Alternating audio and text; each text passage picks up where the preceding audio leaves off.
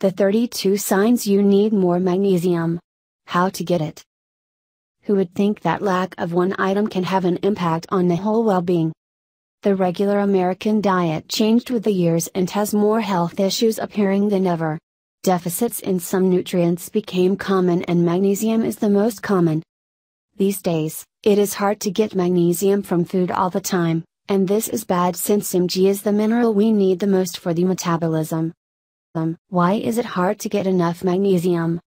Before, it was easier to get the daily best Mg dose. Eating produce was enough to get the Mg you need today. But, these days Mg was not as prevalent in the soil as before. The erosion and farming of modern times took their toll and left just a bit Mg in the soil.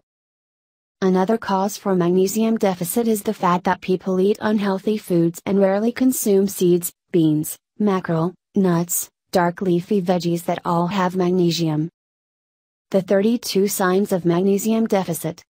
Asthma, anxiety, blood clots, bowel issues, confusion, calcium deficit, constipation, cystitis, difficulty swallowing, depression, dizziness, fatigue, fertility issues, pregnancy starts, preeclampsia, preterm labors, heart issues, hypertension, hypoglycemia, high pressure, insomnia, kidney and liver issues, memory loss, muscle cramps, migraine, nausea, osteoporosis, personality change, anxiety, depression, mood issues, potassium deficit, extreme thirst, skin color changes, numb extremities, respiratory issues, seizures, tremors, tooth decay,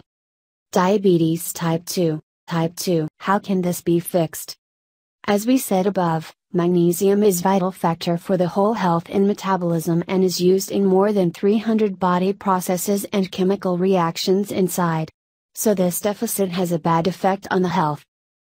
The best way for metabolism boost is more magnesium foods like those above mentioned.